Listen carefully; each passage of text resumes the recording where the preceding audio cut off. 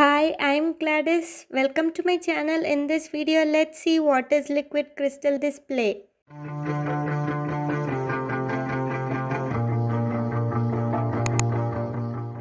So liquid crystal display is a flat display screen used in electronic devices such as laptops, computers, TVs, cell phones, etc. So from the name liquid crystal, we can understand that it is a state in between liquid and solid. So it flows like a liquid and shows some properties of solid. And LCDs are thinner and it consumes less power than other displays.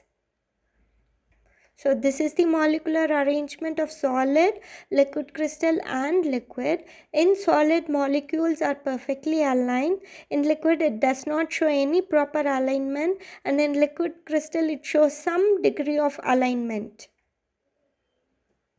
This is the construction of liquid crystal display and it consists of two polarizers and two transparent electrodes and two glass sheets and the liquid crystal is placed in between the glass sheets.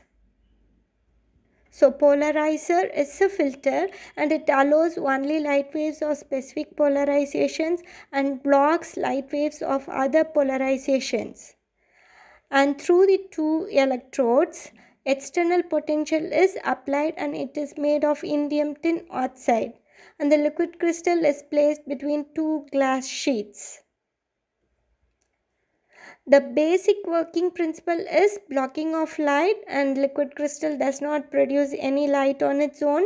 So external light and external supply is used. So when the external light passes from one polarizer to the next polarizer, the polarized light and the molecules of liquid crystal aligns itself so that the image is produced in the screen.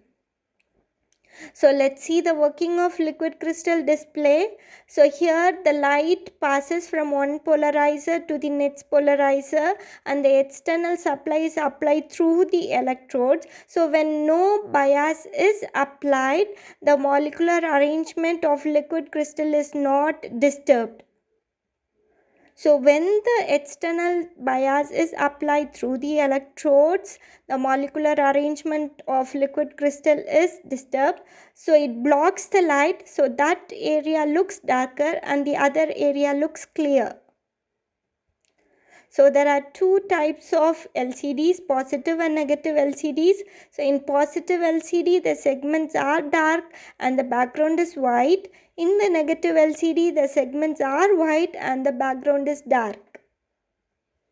So the advantages of LCD are it is thin and compact, low power consumption, less heat is emitted during operation and it is of low cost.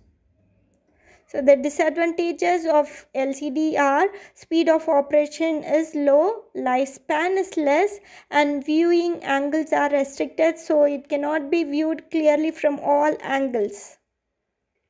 So the applications of LCD are it is used in the display of digital wristwatch, in digital cameras, in numerical counters, in calculators, it is used in television, mobile screens, in video players and it is used in image sensing circuits.